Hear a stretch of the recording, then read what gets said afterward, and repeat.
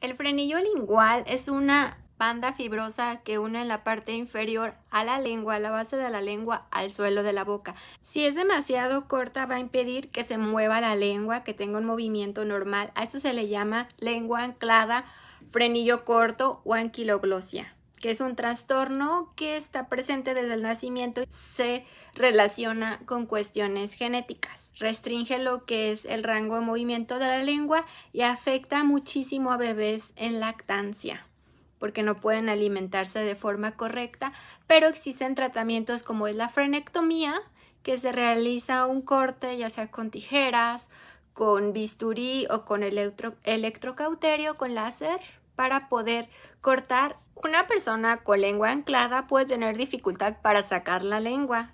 En niños, la anquiloglosia, lengua anclada, puede afectar la forma en la que el niño come, en la que el niño habla, en el que el niño hace deglución o traga, es muy importante detectarlo a tiempo y tratarlo.